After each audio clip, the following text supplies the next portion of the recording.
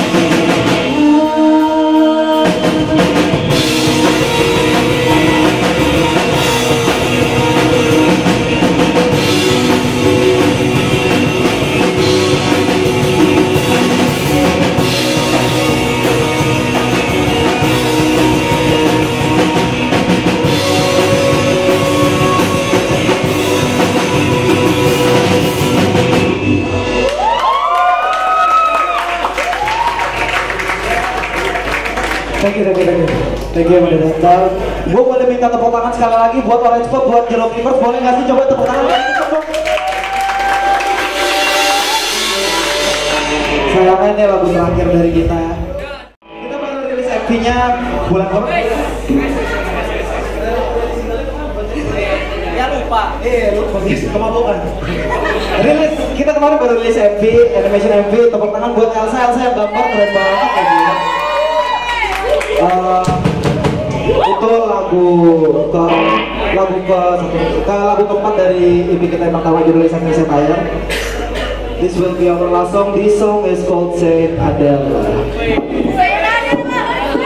Farewell.